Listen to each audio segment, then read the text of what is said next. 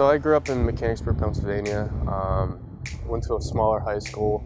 Uh, I was a, a one-star coming out of Mechanicsburg, and you know wasn't a big name guy, undersized. Still am undersized, uh, but really just you know my work ethic and um, my motor that just doesn't stop is what allowed me to play at the next level. I was granted a sixth and seventh year from the NCAA, which is pretty unreal, I thought, and uh, I just thought it was time to move on from Towson and see if I could start a somewhat of a new career, I guess you could say. Um, and thankfully, Coach Whip and the the other coaching staff gave me an, another opportunity to play up here at UMass. When we met him, he was he was uh, just a, a, really really good kid, and um, you know, I've done this a long time now, and uh, sometimes you know you listen to what the players. A lot of times we'll listen to what the players have to say, and those two guys, Adam and, and Andrew, are pretty good players and good judge of character, and uh, you know they were right. So um, it's it's he's really helped us.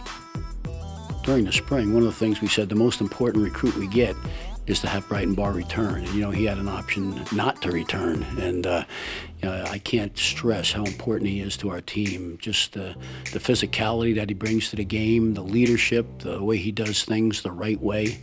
Uh, is really, really impressive. You know, we use that expression, what kind of team would we be if everybody was like me? And if everybody was like Bryton Barr, we, we'd be pretty exceptional.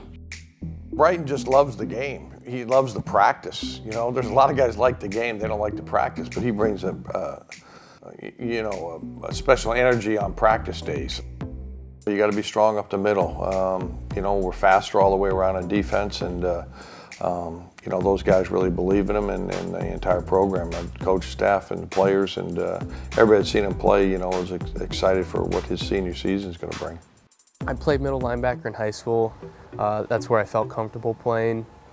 And when I when they moved me to middle linebacker up here, I was just like, you know, I feel at home, I feel comfortable, and you know, I was fortunate enough to you know start against Hawaii and had a pretty good uh, opening game, and just kind of trickled down for the rest of the season. When Coach Whipple offered me that that scholarship to come up here and play with, you know, two great friends uh, that I've known since high school, and I knew that I'd be living with them too. Just kind of, we had talked about it, you know, kind of jokingly back in high school. You know, like what if we all played together at the same school, and it, ended up happening, and uh, it's kind of funny looking back. Um, but yeah, it's uh, I'm just very thankful for the opportunity, and you know, still thankful because I am finally playing my last year of college football seven years later, never thought I'd be here right now, but just very thankful.